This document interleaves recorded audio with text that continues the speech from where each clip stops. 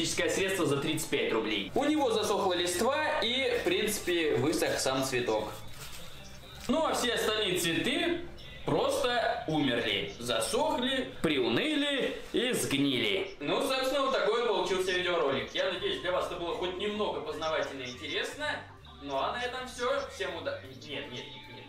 Еще одно но. У нас остался еще один цветок, который мы просто тупо по приколу поставили в воду.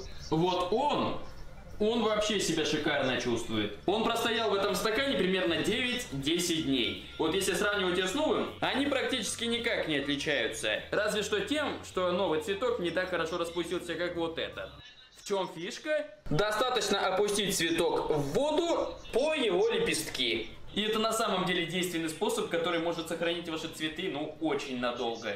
На десятый день он будет выглядеть абсолютно как новый. Ну, а на этом все. Всем удачи и всем пока. Тебя видно. Тебя видно.